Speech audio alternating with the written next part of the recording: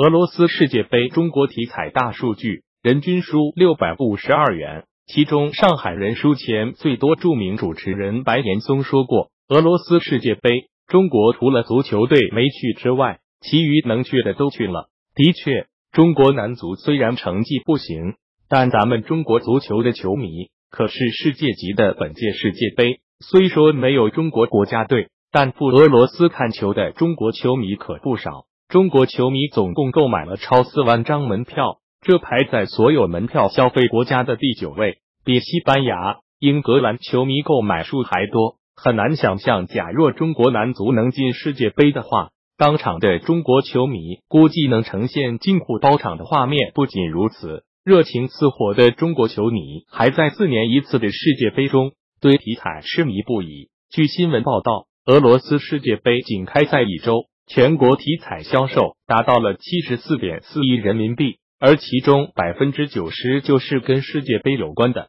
而一款互联网金融 A P P 最新发布了一份二零一八年世界杯中国消费大数据报告，里面的内容十分有趣。在这份报告中，参与竞猜世界杯的中国彩民人均输掉六百五十二元，这当然跟本届世界杯频爆冷门有关。而世界杯期间，单笔竞彩支出最高的，竟然达到了十五点四七万元。本次世界杯看球多了一个标配，那就是小龙虾。世界杯中，上海球迷最爱一边看球一边吃小龙虾。不过，小龙虾作为新晋网红，依然不敌水果、烧烤和啤酒。另外，钟爱世界杯体彩不仅仅是男人，女人们也可以不懂球但参与竞猜。本届世界杯女性彩民接近四成。全国女彩民人均消费达到了七百七十八元，而大家最关心的竞猜胜负城市，其中上海球迷最不会竞猜，